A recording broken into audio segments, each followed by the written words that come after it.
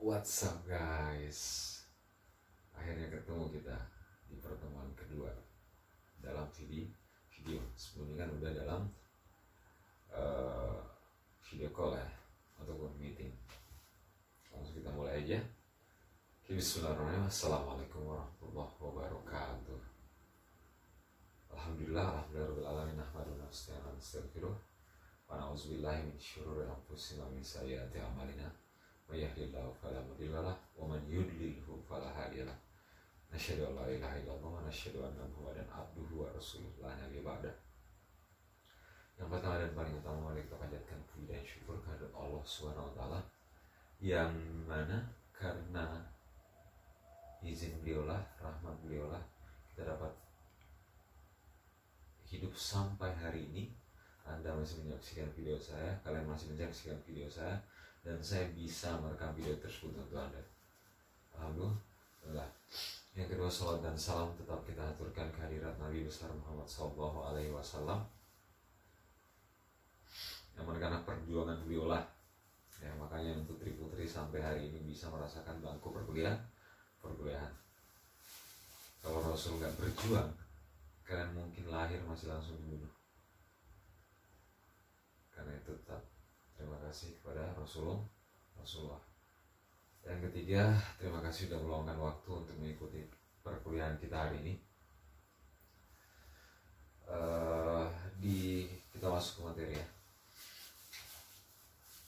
Di minggu lalu kita udah uh, saya sudah memperkenalkan diri kepada kalian dan saya sudah mengenal beberapa dari kalian. Walaupun bukan kenal secara intens ya. Enggak ya kenal seadanya kenal. Segala sesuatu ketika akan dimulai itu semuanya butuh perkenal perkenalan. Minggu lalu anda mengenal saya saya mengenal anda. Maka minggu ini kita lang lanjut berkenalan dengan ilmu kalam. Jadi sebelum kalian membahas lebih jauh kita kita bahas lebih jauh ilmu kalam itu apa ya perlu dikenal namanya siapa dia itu apa bahan-bahan yang menyusun dia itu gimana dari mana dan bagaimana biografi dia ataupun sejarah perkembangannya seperti apa. Jadi dalam perkuliahan kali ini kita akan membahas tiga bagian. Yang pertama mengenai uh, deskripsi ilmu kalam itu sendiri yaitu dari segi nama dan pengertian spesifiknya yang kedua, kita akan membahas mengenai sumber-sumber materi yang dijadikan jadikan bahan pembahasan kalam. Sumber materinya dari mana aja. Yang ketiga terakhir yaitu mengenai sejarah perkembangan perdebatan kalam ya dari awal dimulai sampai saat ini. Langsung aja kita masuk ke bagian pertama mengenai nama atau deskripsi etimologi maupun terminologi mengenai ilmu kalam. Dari, secara etimologi ilmu kalam berasal dari kalam itu sendiri ya. Kalam itu berasal dari takalam ya takalam kalaman. Perkataan-perkataan. Orang yang ahli dalam ilmu kalam biasanya disebut mutakalimin. Nah ini kalam siapa yang dibahas? Kalamum, kalam atau kalam Allah Subhanahu Wa Taala itu sendiri yang semuanya sudah terangkum dalam Al-Quran. Al Ilmu kalam itu sendiri e, memiliki beberapa nama lain. Ya. Di antaranya ilmu kalam biasa disebut dengan ilmu usuluddin. Yang kedua biasa disebut bisa bisa disebut dengan ilmu tau tauhid. Yang terakhir bisa juga disebut sebagai teologi is Islam. Terus bedanya apa dong Pak? Pertama, mengapa ilmu kalam bisa disebut atau nama lainnya ilmu suludin? Ilmu suludin usul adin. Usul itu akar. Adin agak agama. Jadi ilmu suludin ilmu yang membahas dasar-dasar agama. Dalam ilmu kalam juga dibahas salah satu dasar agama yang paling penting yaitu mengenai keimanan kepada Allah Subhanahu wa taala. Juga mengenai sifat-sifat Allah SWT kemampuan beliau sifat mustahilnya seperti apa dan berbagai hal yang terkait terkait dengan dirinya. Nya ini nyamsar ya kembali kepada Allah SWT itu mengapa ilmu kalam bisa juga disebut sebagai ilmu suludin selanjutnya ilmu tauhid. Dari kau dari kata wahada yuwahidu tauhidun. Wahada yuwahidu bahasa Arab ya itu e, menyatukan mengesahkan tauhid mengesah mengesahkan ilmu tauhid ilmu yang membahas mengenai keesaan Allah Subhanahu wa taala terkait dengan keimanan. Keimanan yang paling utama al-imanu billah. Ya rukun rukun iman yang pertama pertama.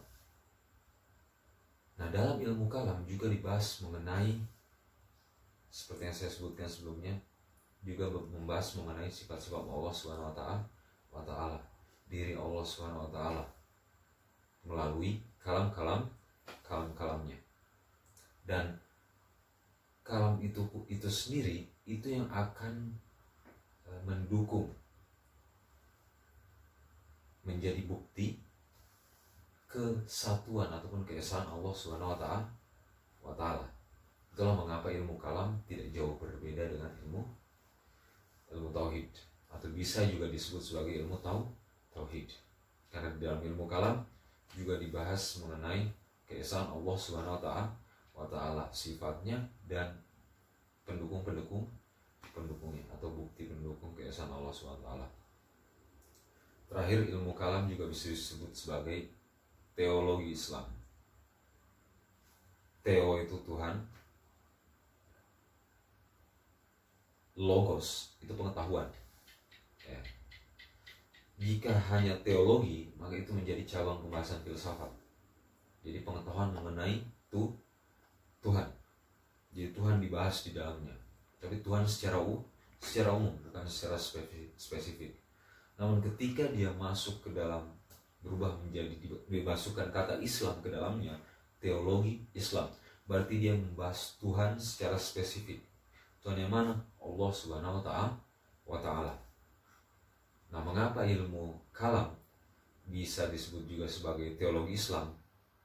Karena dalam ilmu kalam membahas Allah secara spesifik spesifik Allah taala secara spesifik. Itulah mengapa ilmu kalam juga bisa disebut sebagai teologis, teologi Islam. Nah, itu untuk beberapa nama lain dari ilmu kalam juga terkait dengan kalam itu sendiri secara etimologi. Nah, untuk membedakan secara simpel antara ilmu usuluddin ilmu tauhid dan teologi Islam atau misalnya kalian bertanya Pak terus bedanya apa Pak? Atau bedanya apa? Beda simpelnya Pak antara ilmu usuluddin ilmu tauhid dan teologi Islam. Dengan ilmu kalam itu sendiri bedanya apa? Simpelnya seperti ini bahasa gampangnya ya. Ilmu usuluddin membahas dasar-dasar agama is dasar-dasar agama Islam. Ada beberapa dasarnya Salah satunya mengenai Allah Subhanahu wa taala. Ilmu tauhid khusus membahas mengenai keesaan Allah Subhanahu wa taala dengan dukungan semua yang berasal dari kalam-kalam beli beliau ataupun Al-Qur'anul Karim serta hadis Rasulullah Shallallahu alaihi wasallam. Itu ilmu tauhid. Sedangkan teologi Islam itu membahas mengenai Allah Subhanahu wa taala secara spesifik sebagai itu sebagai Tuhan dan tidak lepas kembali kepada rujukannya tetap kepada Al-Quran dan Sun, Sunnah. Nah ilmu kalam ya, itu membahas mengenai aspek-aspek ketuhanan terkait Allah Subhanahu Wa Taala serta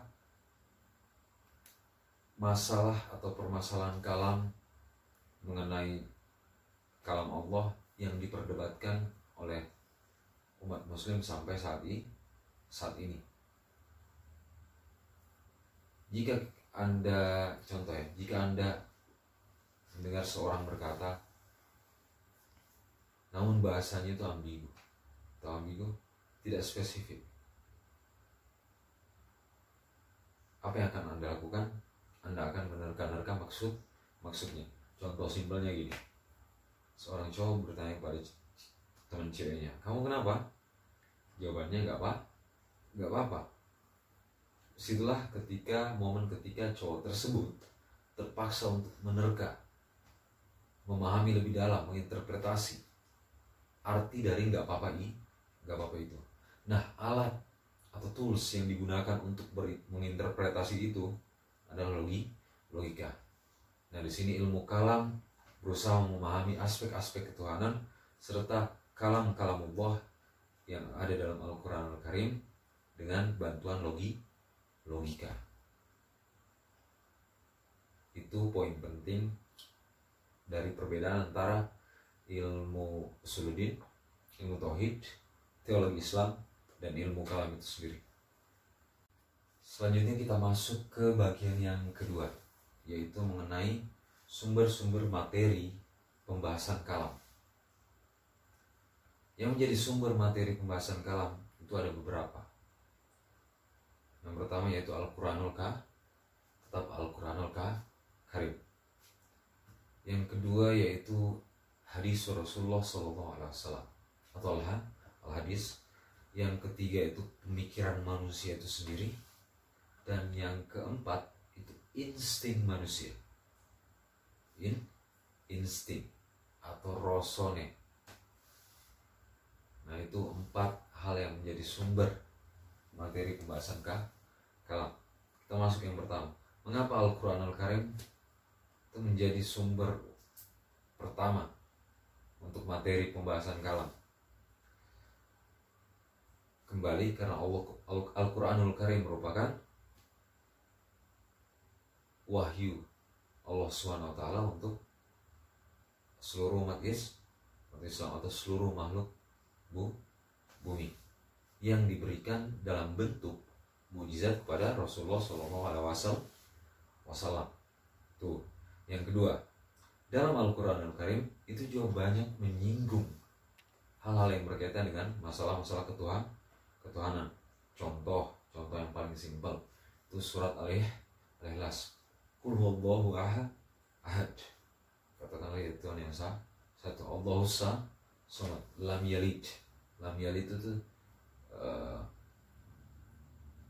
tidak beranak walam yulad dan tidak diperan peran walam yakun lahu kufuan ahad. Kalau dalam eh, perdebatan antar agama ini dapat disebut sebagai eh, syarat sahnya Tuhan atau tiga karakteristik tuh Tuhan. Dia harus satu dia tidak boleh beranak dan diperanak dan terakhir tidak ada yang tidak boleh ada yang dapat menyamai menyamainya. Nah itu di surat Ali Alilas nah inilah uh, mengapa uh, Al-Quranul Karim itu menjadi sumber utama pembahasan ka kalam. Karena Allah sendiri telah menuangkan banyak petunjuk mengenai dirinya dalam Al-Qur'an dalam Al-Quran. Contoh lain yang dapat menjelaskan mengenai mengapa Al-Quran itu menjadi sumber utama. Kita coba uh, Asyura ayat 7 ya. Asyura itu surat 42.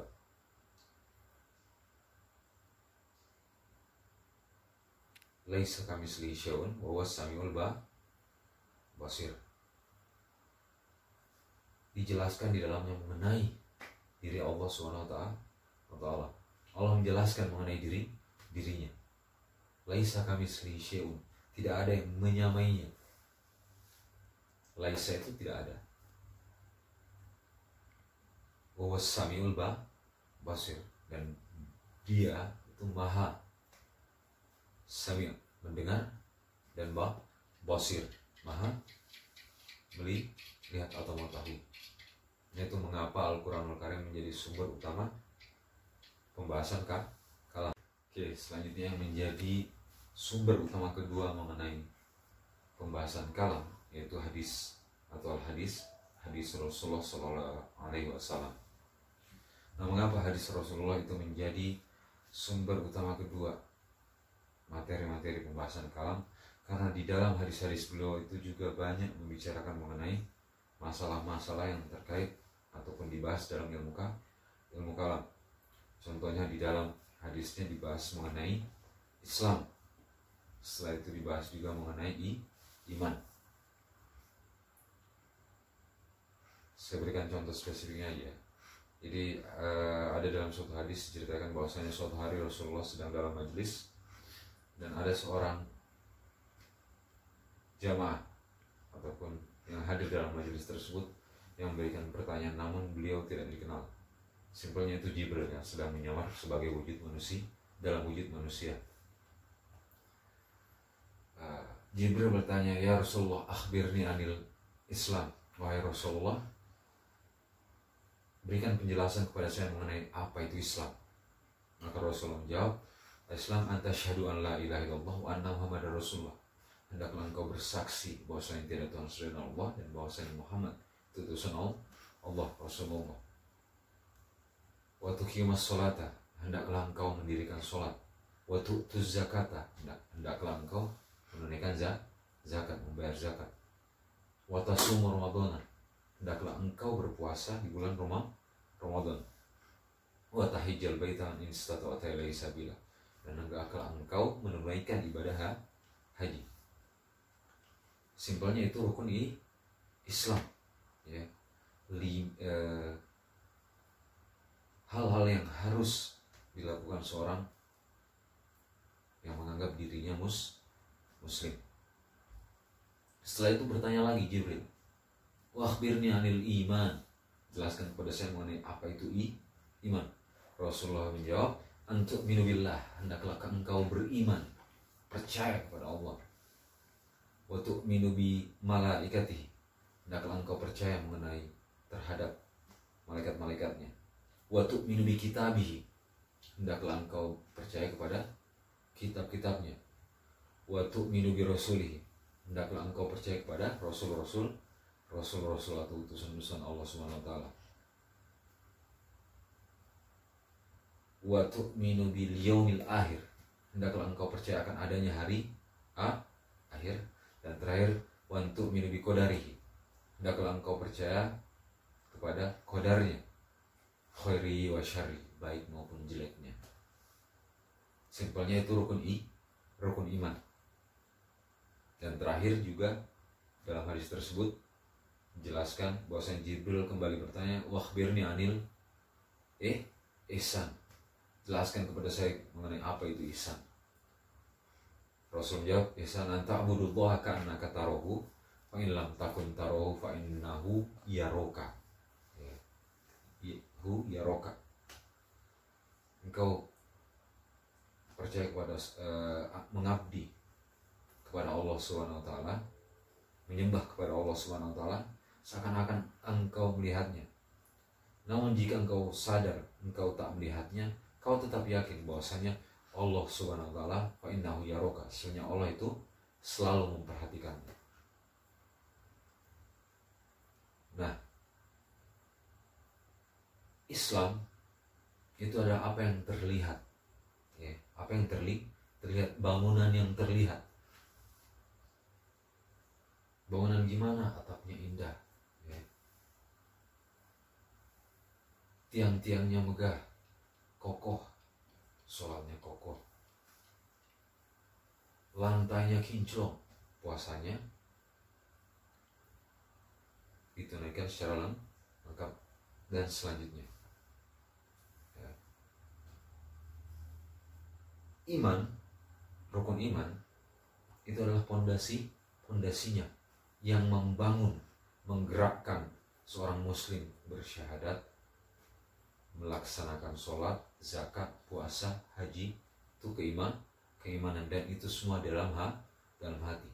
Simpelnya kalau di bangunan itu dalam tak dalam tanah tak terlihat oleh mata, kasat mata. Dan terakhir ihsannya, ihsannya itu adalah ketika Anda memasuki rumah tersebut, Anda akan merasa nyaman. Atau ketika Anda melihat rumah tersebut dari jauh, Anda akan terkesima. Tenang hati Anda. Bahagia ketika melihat rumah tersebut. Simpelnya kalau itu dibaratkan sebagai seorang cowok, ya, rukun imannya dia kuat, imannya kuat, ya, Islamnya kuat, tidak pernah putus sholat, puasanya lengkap, uh, uh, berzakat, berhaji ketika nanti dia mampu, itu Islamnya lengkap, dan ihsannya akan maka ihsannya itu akan terlihat. Terlihat gimana? ihsan anta abudullah karena katarohu fa ilam takun tarohu ya fa inahu yaroka dia akan menunjukkan menundukkan pandangan ketika ada akhwat atau perempuan lain yang lain yang muka murid ramah kepada tetangga maupun tamunya ataupun kepada orang lain. Selalu berbuat berusaha berbuat baik. Ada barang jatuh yang bukan milik dia dikembalikan. Nah orang-orang yang seperti itulah adalah tampilan dari ihsan itu sendiri sendiri. Jadi itu ihsan itu tampilan ataupun wujud dari ihsan eh, Islam dan iman yang kuat. Itu ih ihsan. Engkau akan menjadi ihsan ketika imannya kuat Islamnya kuat dan dia beribadah seakan-akan melihat Allah dan Allah melihat diri dirinya.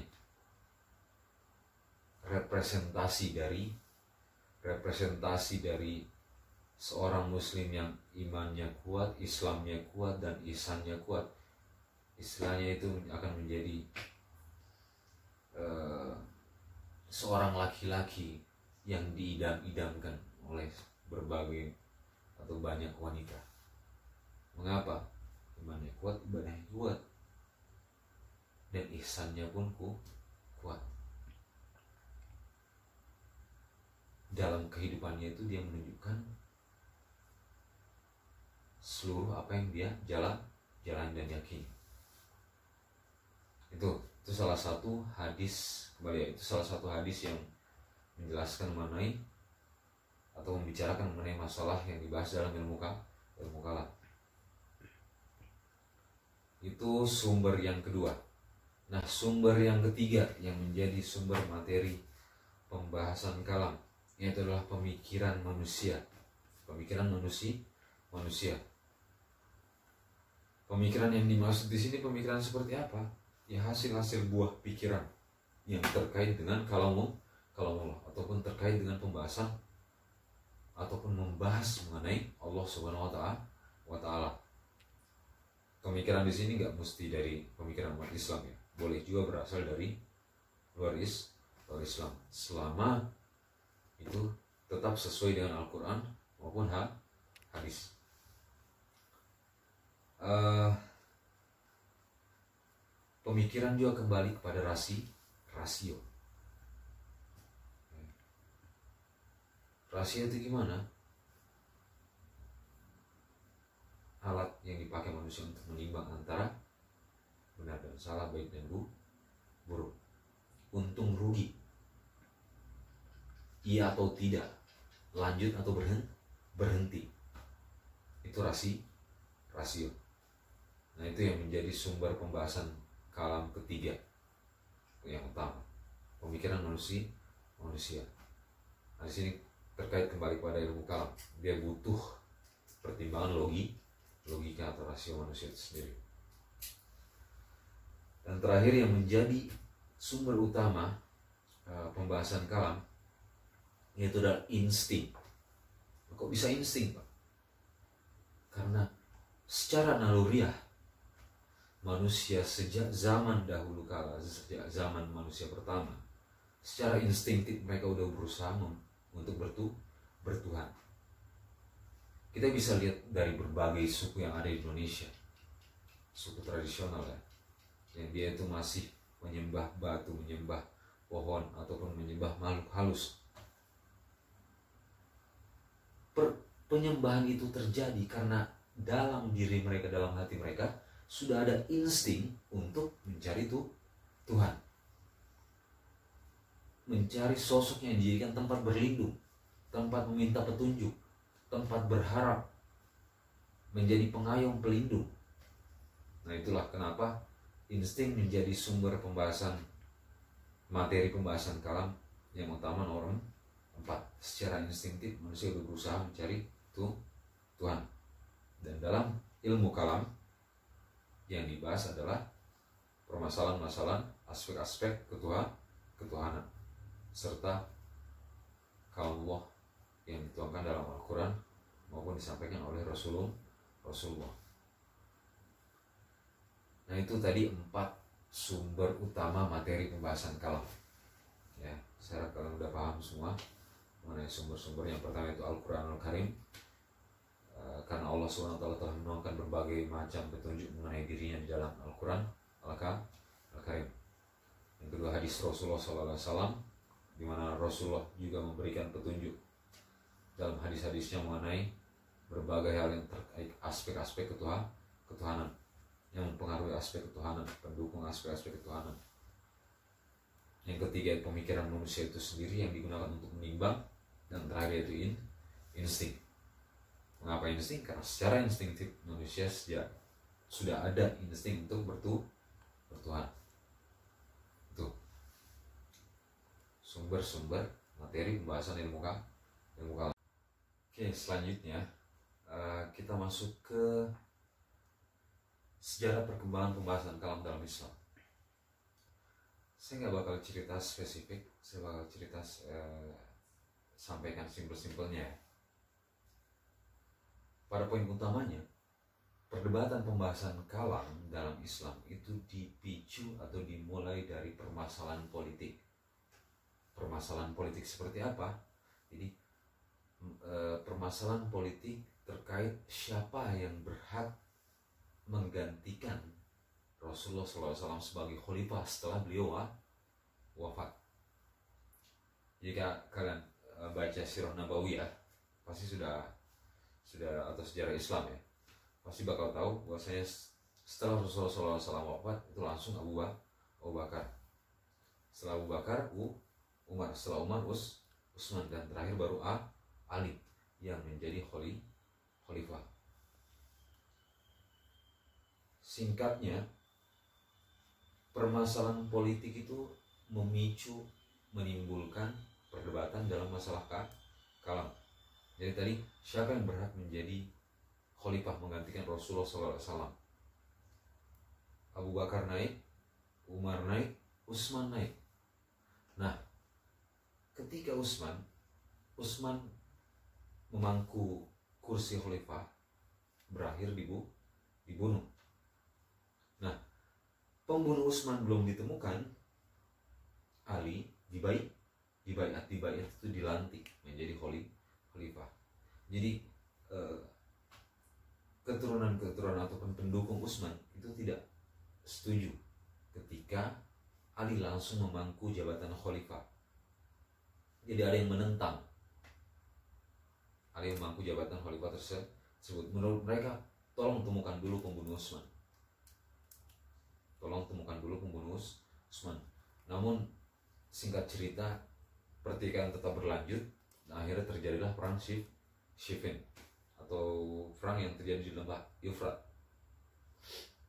Dalam perang tersebut, kubu nah yang salah satu pemimpin penentang di sini itu Muawiyah bin Abi Sufyan Singkat cerita dalam perang tersebut kelompok atau kubu Muawiyah sudah terpojok dan hampir kalah. Namun saat itu ada yang langsung mengangkat Al-Quran. Mengangkat Al-Quran. Dan ketika Al-Quran sudah terangkat, maka semua yang sedang bertikai itu harus tunduk kembali kepada Al-Quran dan Al-Quran itu sendiri. Nah di situlah perang berhenti tuntutan untuk menghentikan perang tadi ya, itu ada yang menentang karena berpikir udah lanjutkan saja sebentar lagi kita mah kita menang tapi ada juga yang tetap mendukung untuk perang dihenti dihentikan. Al-Quran sudah diangkat itu kita harus berhenti. Simbol Al-Quran diangkat itu juga menjadi simbol ajakan dan damai. Dari kubu Muawiyah. Padahal kan istilahnya kayak gini. ketika anda tanding di gelanggang anda bentar lagi kalah. Apa boleh? Tiba-tiba bentar bentar. Istirahat bentar. Padahal anda bentar lagi kan kalah itu kan tidak etis istilahnya. Kalau dalam istilah perang tidak eh tidak etis. Namun itu yang terjadi saat itu. Kubu Muawiyah sudah terpojok dan hampir kalah. Salah satu kubu Muawiyah mengangkat Al-Qur'an. Al istilahnya itu islah. Perundi perundingan damai. Ajakan damai ataupun arbitrase. Ya, arbitrase. Nah saat itu ada yang mendukung diadakannya islah atau arbitrase. Namun ada pula yang tidak mendukung diadakannya arbitra arbitrase. Ada kubu yang mendukung diadakannya islah. Itu kubunya siapa? Kubunya A Ali. Mengapa? Karena Ali saat itu menerima ajakan perundingan damai dari kubu Muawiyah oh iya istilahnya menghentikan perang kubu Ali juga ada yang menolak akan diadakannya arbitra arbitrase. Nanti itu yang disebut dengan hawa khawarij ke depannya. Dari sini dari sini kubu Ali yang tidak setuju diadakannya arbitrase itu menganggap Ali telah mempercaya, eh, mengkhianati kepercayaan umat is, Islam ataupun pendukung beliau. Kok bisa mengkhianati gimana? Karena menerima ajakan damai darimu musuh. Sedangkan saat itu perang terjadi terjadi dan kubu Muawiyah itu merupakan kubu penen, penentang dan Ali sendiri saat itu telah dibaik dibaiat sebagai khalifah istilahnya penentang khalifah nah kubu yang eh, beranggapan bahwasanya Ali yang tidak setuju Ali menghentikan perang ataupun menerima ajakan damai di sini menganggap bahwasanya Ali itu sudah keluar dari Islam atau sudahkah kafir. Mengapa? Karena mau menerima ajakan damai dari pemberon pemberontak. Secara Ali saat itu telah menjadi khalifah. Inilah masalah yang pertama kali diperdebatkan dalam pembahasan kalam. Apa masalah yang pertama kali diperdebatkan dalam pembahasan kalam? Itu mengenai siapa yang kafir dan siapa yang belum kafir. Ya, apakah Ali kafir karena menerima ajakan damai? Apakah Muawiyah kafir karena menentang Ali? Atau apakah mereka berdua tidak kafir? Ada nanti salah satu juga kubu yang eh, mengembalikan penilaian antara kafir dan tidak dari Ali dan Muawiyah kubu Ali dan Muawiyah di sini kembali kepada Allah swt. Itu apa? Eh, murji murjiah ya, nah inilah awal perdebatan pembahasan kalam jadi masalah yang pertama kali diperdebatkan itulah siapa yang kafir atau siapa, eh, siapa yang kafir atau siapa yang belum belum kafir dalam hal terse tersebut. Tapi untuk lebih jelasnya lebih spesifiknya karena ini panjang ya nggak bisa secara simpel uh, kita bahas minggu depan saya sampaikan minggu depan mengenai sejarah perkembangan pemikiran kalam.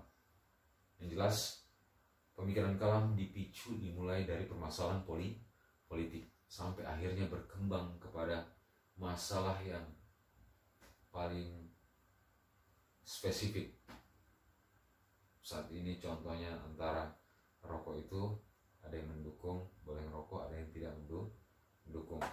Ada yang ingin uh, berdoa berjamaah ada yang ingin berdoa sendiri-sendiri sendiri-sendiri. Telah contoh-contoh masa kini di mana perdebatan kah? Perdebatan kalam itu terjadi.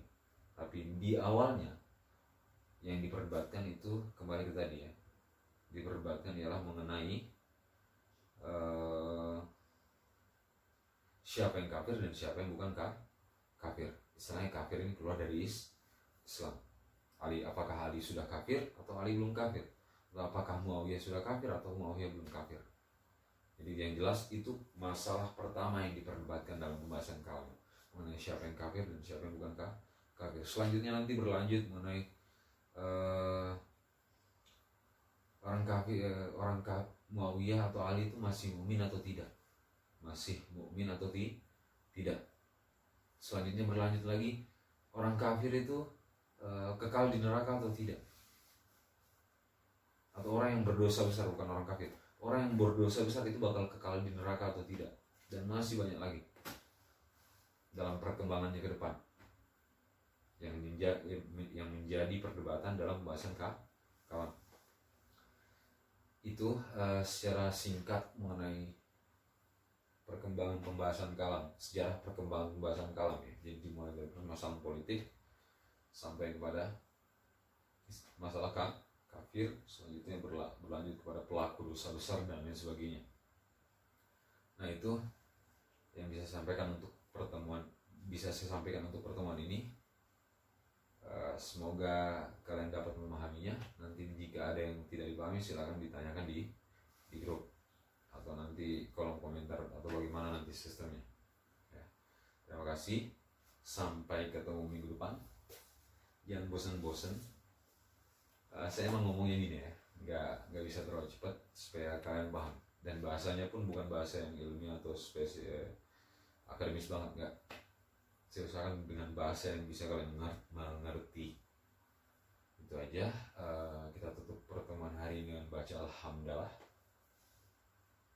Sampai ketemu minggu depan. Tetap semangat semoga kita masih hidup saat itu. Wassalamualaikum warahmatullahi wabarakatuh